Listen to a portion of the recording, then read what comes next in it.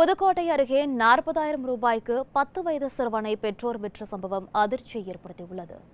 புதுக்கோட்டை மாவட்டம் கரம்பக்குடியை அடுத்து குழந்தை ராம்பட்டு கிராமத்தை சேர்ந்தவர் பத்து வயது சிறுவன் வைரவேல்.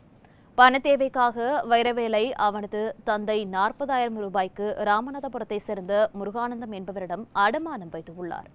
முருகானந்தம் அச்சிறுவனை ஆடு மேய்ப்பதற்கு பயன்படுத்தியுள்ளார்.